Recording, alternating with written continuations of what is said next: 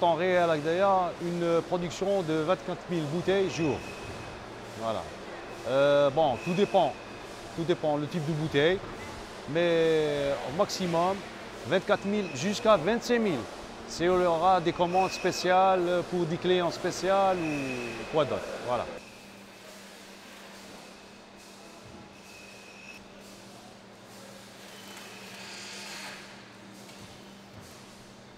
Français ont eu un, grand coup de pouce pour la mais ça n'empêche que euh, après l'indépendance, les Algériens ont pensé de, laisser leur, leur trace dans ce vin algérien.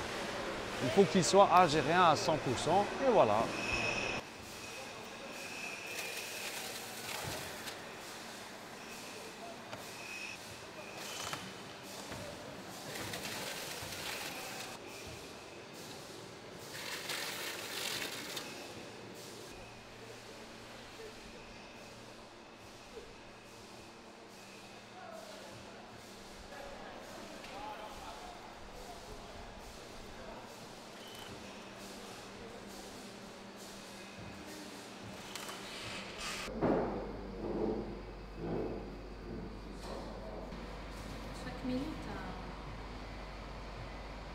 Voilà.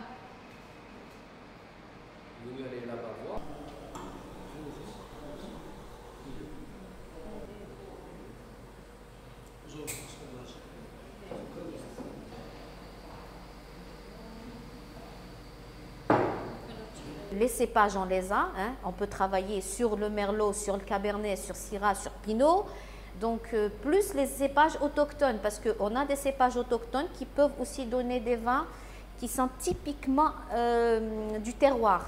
Euh, y compris bien, sûr le grenache, euh, cinceau par exemple, on peut faire du cinceau, plutôt du rosé, du gris, avec du cinceau et du grenache. Et ça donne quand même un rosé bien sûr très frais et puis très fruité. Voilà.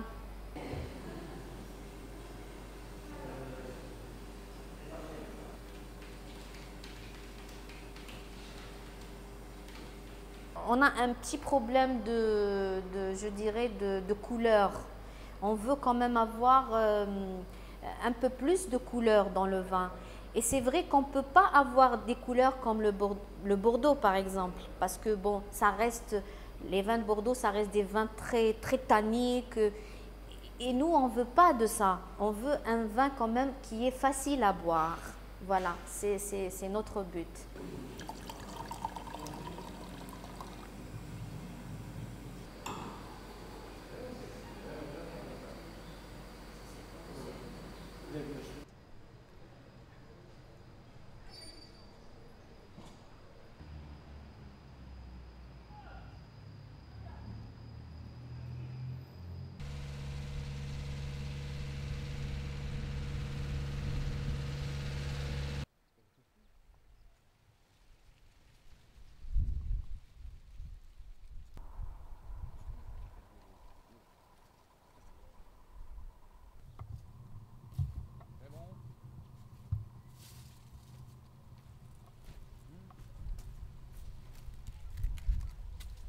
Les volumes ont été euh, donc euh, les plus importants, c'était les années 70.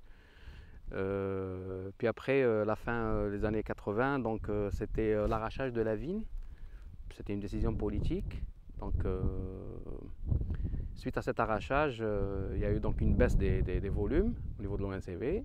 Puis après, donc l'ONCV a pris en charge toute l'opération de plantation, donc des années 99, 98, 99 à peu près, par l'introduction justement des vins améliorateurs tels que Pinot Merlot, Syrah Cabernet, Sangiovese, Tempranillo, Chardonnay, voilà.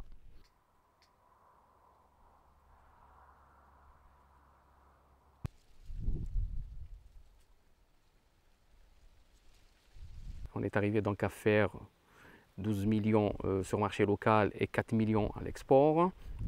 Sur le segment export, ben, il y a la France qui prend la plus grosse part euh, du lion, là, et euh, suivi de la Chine et du Canada.